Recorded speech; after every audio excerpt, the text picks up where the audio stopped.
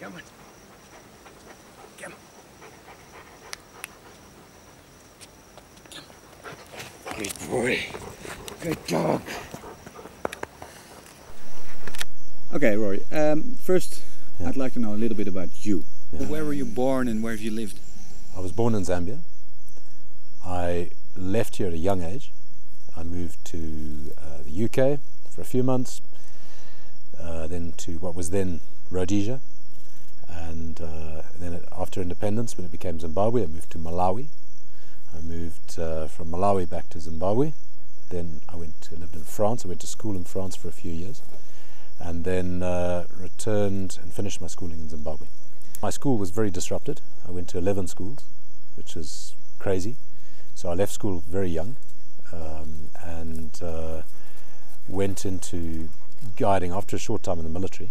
I went into guiding. I did very well initially in the military, but decided it wasn't for me. Uh, and uh, I wanted to go into the bush and work as a guide, ranger, uh, and so on. And uh, I spent altogether five years um, working as a guide, ranger, and uh, in every aspect of, of safaris and wildlife management that I could in order to get training and experience. And uh, I was licensed under the Department of National Parks and Wildlife Management in Zimbabwe in those days as a professional guide. And um, my passion, as in terms of skill, has been tracking. And believe it or not, I see myself as a tracker first and foremost. Yeah. Um, however, I'm also a strategist in anti-poaching, and that is just I've become that way not through any particular training because it doesn't exist. I've tried to find solutions for problems that have arisen in front of me in the last uh, 10, 15, 20 years that I've been working. How did you switch from pro guide to becoming anti-poaching trainer? The poaching problem has become completely out of control. And at the same time as it's, it's gotten worse, the skills and the training that are available to the, the, the, the people who have to go and stop the poaching are just not there. Or they're much reduced, or there are not enough trainers. Um, and uh, I also noticed that to this day, there has never been a clear, comprehensive approach to anti poaching. It's always been haphazard, or it's involved cliches, or it's involved um, other training just being adopted. It's never been tailored for this problem. And I think part of the reason has been that uh, in the past it hasn't been as big a problem in certain countries, and in others it hit so quick and so hard they didn't have time to react before the wildlife was gone. In places, you know, uh, in, in very uh, poorer countries and uh, those that, that couldn't do much about it in the 70s and 80s. Um, whereas where it's hitting now, it has been the stronghold. And it's now hitting so hard, it's a desperate situation. And if a comprehensive uh, approach is not uh, developed and applied, it's over. It'll be a disaster. Not just for elephants or rhino, but for everything. Tell me, what is poaching? Okay. There are many definitions, very, very, many legal definitions, but poaching generally is the illegal harvesting of resources from a protected area of natural resources. So whether it's an animal, a part of an animal, a log, a bird, a tree, uh, water, a stone, a rock lying on the ground. It's that's what poaching is. Could you give a description of the um, situation of poaching throughout Africa? The situation with regards to poaching in Africa right now is catastrophic. In some areas, wildlife has already been completely wiped out, all the animals. Um, in, in others, you have keystone species have been wiped out. And in other areas, uh, it's on the decline. But there is no place in Africa where poaching is not a major threat. If you look at any part of the continent right now, the biggest threat to conservation is poaching. And when I say that, I mean the illegal harvesting of resources from protected areas. Um, there is, there has never been such an onslaught as it is now. The memories of my childhood in the wild and the many years I spent, fantastic years, doing safaris, working with wildlife, working with communities in those areas are the closest thing to how I imagine paradise. To leave that for responsibility, my family and for other reasons, and then to discover that it's being destroyed. As fast as you can snap your fingers, it's going. Is absolutely heartbreaking. There's no other way to describe it. Do you have any idea on the numbers or the time that, that's left for the animals?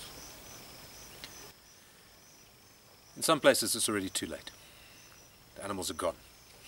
Uh, many, many places that I used to see wild animals in large numbers as a child no longer have them. I can remember distinctly in Malawi on the Tanzanian border the first time I saw poachers. And I saw these people with trucks piled high with meat driving out through a dirt road and I said to my cousin, who are they? And he said, those are poachers. I said, what's a poacher? He says, oh, they, they're hunting illegally. That area now, there is no animal. There are no animals in that, in that area of Malawi. And those sort of areas, the only hope is that one day they may be reintroduced. Animals have to be reintroduced. But it's, it's very difficult. There are very few figures on the actual populations of animals all over Africa.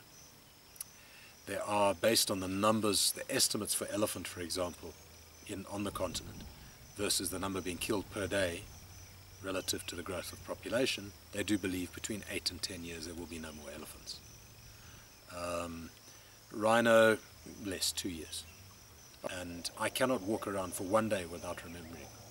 I cannot walk around anywhere, on a safari or in the park, without looking around and seeing a plant that I used to see them eating, and no longer nothing else feeds on. There's a number of them there, and they fed on sometimes looking at the ground and seeing the edge of a hippo track and saying, oh, rhino, and then reminding myself, oh no, we no longer have them. Um, and there's many, many, many uh, reminders every day that they're gone.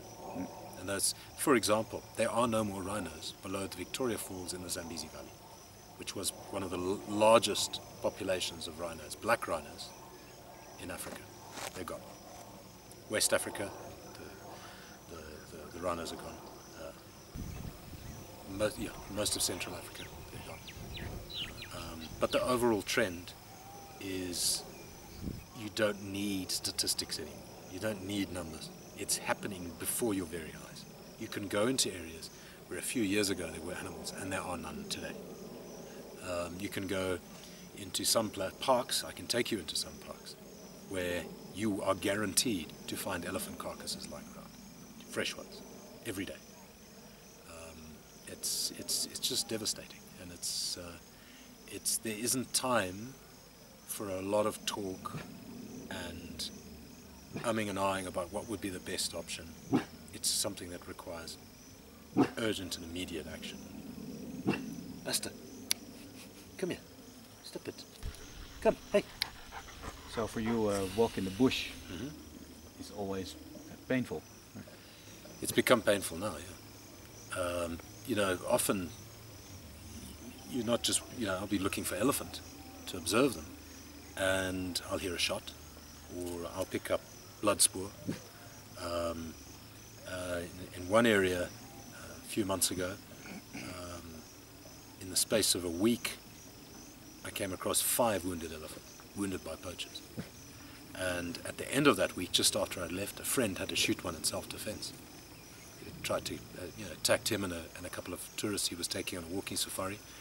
They were having a look at, at some elephant, and one picked up their scent, and he had no choice. He had to, he had to put it down, and he found a, a, a, a bullet in its side from a poacher.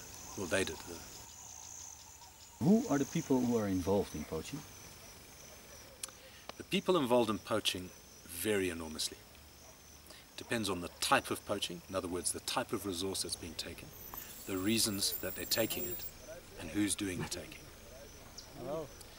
So, in the case of ivory, it's generally for export, illegal, smuggling, contraband, moving across borders, for financial gain.